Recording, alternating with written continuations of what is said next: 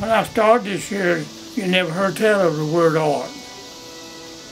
As time went on, it became available.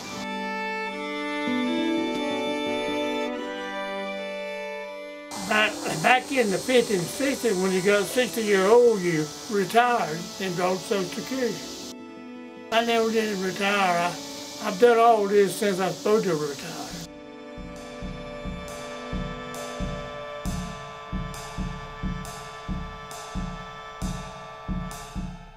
I love art because I think that it is the most pure moment of a person connecting with their environment and where they're from and where they grew up.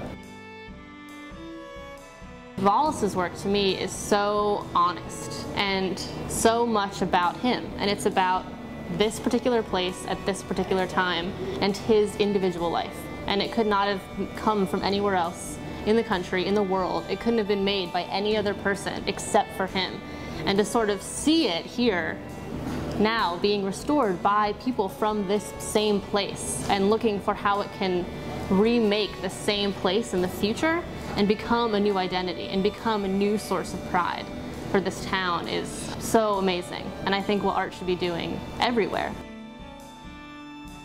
Well, he is a unique example of the great talent that's in this state. And he has never had the formal training or anything, and he took things left from his uh, repair jobs and built wonderful artistic things, which shows you you can create things where you don't think there's anything to create.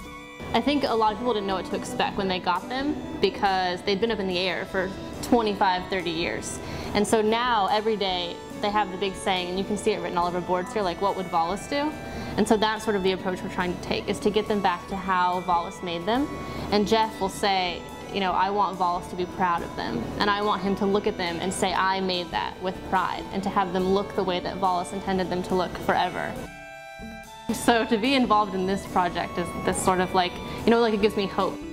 Art can change the world and like can make a difference.